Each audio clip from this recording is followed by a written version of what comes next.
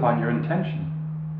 The style of meditation often practiced in Yin Yoga is mindfulness, sort of a Zen light version of awareness that's based on simple awareness and calm abiding, known as shamatha. It's the practice of presence, of being right here, right now.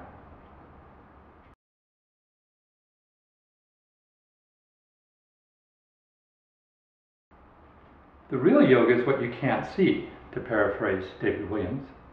The real yoga is deeper. It's the way we breathe how we pay attention to what's happening. To do this, we simply need to be awake to sensations within and to the effect of these sensations on our emotions and our thoughts.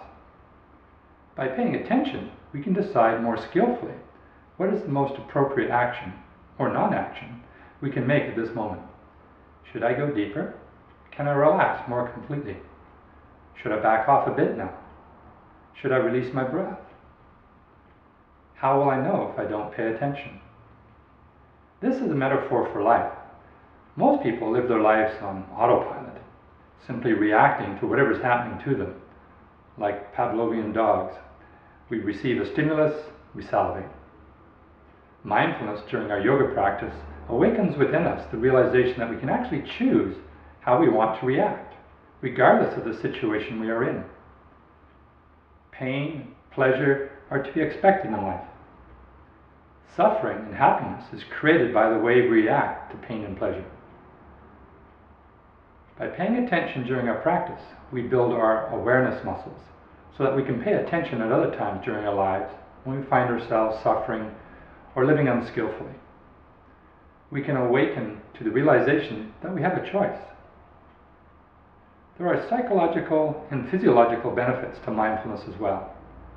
There are many studies that have shown that mindfulness, just simply paying attention to what is actually happening, can reduce our stress levels, calm the heart, reduce blood pressure, reduce inflammation, improve insomnia, lessen anxiety and depression, deal with chronic pain, improve energy levels, improve exercise tolerance, improve concentration, as well as many other benefits. When we add mindfulness to our yin yoga practice, we gain all these benefits, along with the benefits from being in the pose itself.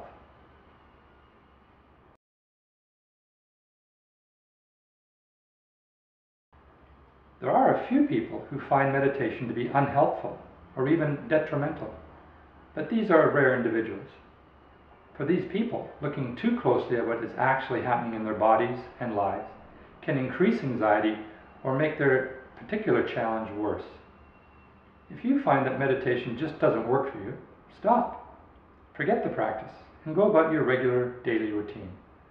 But don't give up just yet. Seek out an experienced meditation teacher and explain to her your situation. There are many kinds of meditation, and there likely is a style that will fit you.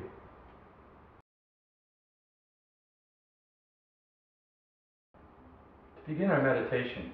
First, find a seat that's comfortable for you, one that will allow you to sit steady without fidgeting for three, five minutes, or even 10 minutes at a time. Generally, we sit cross-legged, but this is not always required. For some people, they have a challenge sitting cross-legged. First, make sure you are sitting on something. If you happen to visit a Zen monastery, you notice that the abbot who's probably been sitting in meditation for 40 years, sits on something. You can use a pillow like this, which is called a zafu, it's a Japanese term which means meditation cushion, or any other pillow, or even a book, phone book. The idea is to get the hips high enough up that you can tilt the top of the hips forward a little bit, creating the natural arch in the lower back. If you sit right on the floor, you tend to lose that normal curve. So do sit up. You'd like to make a nice pyramid base with the knees and your sitting bones. And that gives you a strong, solid foundation. However, for some people, if they have an issue in the inner knees, they might find that sitting cross-legged is not very comfortable. So a couple of options here. You can put a block underneath the knee that gives you a problem. Some people need to support both legs. If you do sit with your legs wide up in the air, feel free to support both legs with cushions. Another option, if it's just one knee that's giving you a problem, bring that foot in first. You might find that that takes the pressure out of the knees. Another option, which is a very wonderful way to sit, is to sit on your heels with the cushion between your feet. This is known as seiza style in Japan. And it's a wonderful way to sit. You're very symmetric. Sitting cross-legged is not actually symmetric. Always there's one foot in front, which tends to subtly tilt the body. Here you're completely symmetric, you're nicely grounded, but for some people this creates a problem for the ankles. So if you want, you can roll up a towel, put it underneath the, the arch of your ankle. For other people, the kneecaps complain here.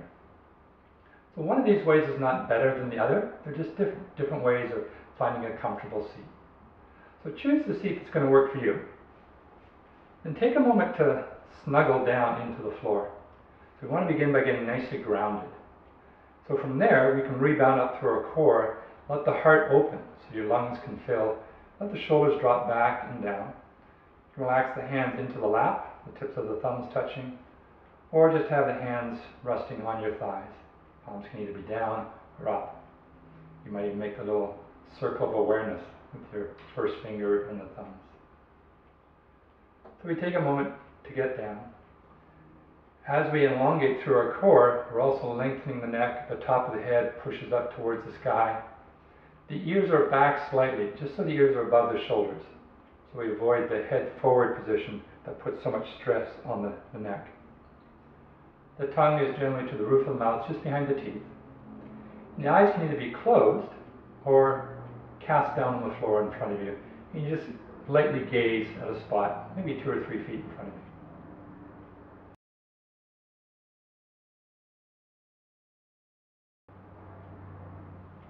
Now that we've got the posture just right, we start to go inside.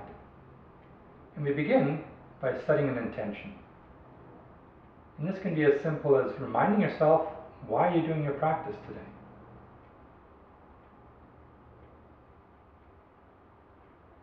Now we turn inward and we start to notice any pockets of tension in the body. Just notice if there's any tension in the shoulders, the neck, the jaw, and just let them go. As you do that, we still want to sit up nice and tall. So you might find that noticing your breath allows you to accomplish both of these. Notice what happens as you happen to breathe. Notice how as you inhale, you naturally sit up taller. And notice how as you exhale, you naturally relax tension. And you don't have to do this, it just happens. So you just allow these waves of breath to flow through us.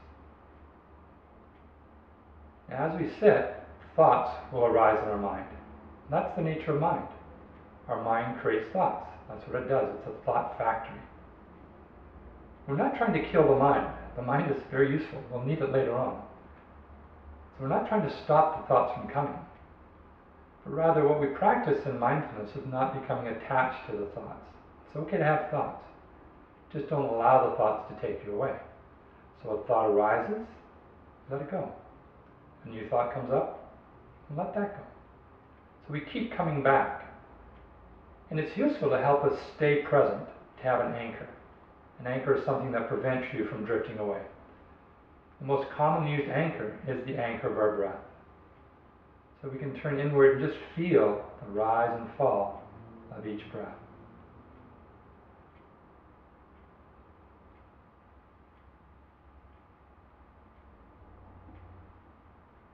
Another technique that can help you stay with the breath is to simply label it. You can say to yourself, breathing in, breathing out, or simply rising, falling. Another anchor that we can often use, especially in our yin yoga practice, is the anchor of sensations in the body. So we start to notice what we're feeling. What's the most obvious sensation that you're experiencing in this moment? And this will become quite useful during our yin yoga practice when we'll get a lot of juicy sensations. And there the practice is simply to notice the sensation, but don't react to it. Whatever happening is just happening. With the caveat that if the sensation becomes painful, then your inner guidance, your inner wisdom should tell you that it's appropriate to mindfully move.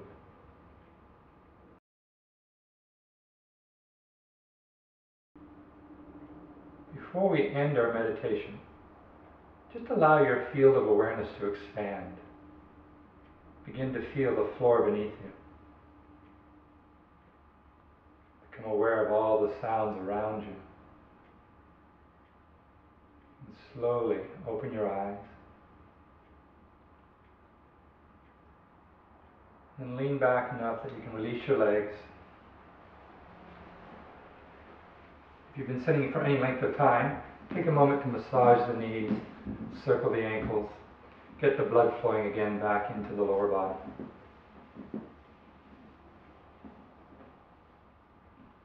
And now you're ready for the next activity.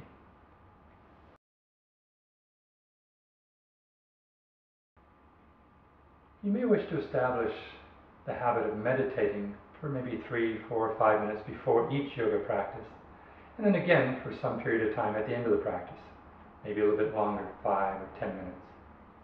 In this way, we can use the meditation as bookends to help begin and end our practice. Certainly, at other times, you might want to just do a full practice only of meditation. Sit in meditation for 15, 20 minutes, 30 minutes, even 45 minutes. But going beyond one hour is counterproductive. And if you are going to get up to those longer periods of meditation, it would serve you well to find an experienced meditation teacher who can guide you. Mindfulness can be practiced at any time, anywhere. It's simply just being with what's happening right now in this moment. We can practice mindfulness while we're eating our meals, say our breakfast. So rather than surfing the web, reading the paper, talking, listening to the TV, we would just simply eat and become aware of eating. You can practice mindfulness while you're walking to your car, while you're waiting for an elevator, if you're in line up at an ATM, when you're waiting for a meeting to start. This practice of meditative awareness is available at any time, anywhere. The more we practice it, the stronger we'll get at it. It's like we're exercising our concentration muscles. So the more we use them, the more we'll be able to use them. For the yin yoga flows, which will be comprising of the performed versions of the various asanas, we'll begin with a short opening meditation, and then we'll close with a slightly longer closing meditation. If you'd like to learn more, visit the website at www.yinyoga.com.